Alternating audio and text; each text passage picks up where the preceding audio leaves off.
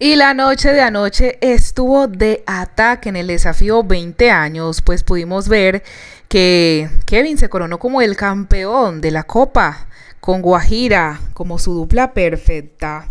No podemos pasar por alto hablar del buen desempeño que tuvo Darling durante la prueba, hizo una pista impecable.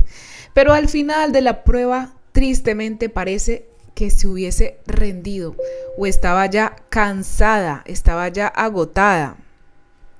Y es que así es, llegó un punto donde Darling ya no podía más, bajó los brazos, empezó a descansar. se le decía, no, no podemos descansar, pero Darling hizo caso omiso y se tomó unos segundos, se tomó unos segundos para poder coger aliento, pero en ese momentico, justo cuando estaba descansando, Kevin y Guajira metieron la última pelota y así se coronaron como las campeones de esa versión Desafío 20 años.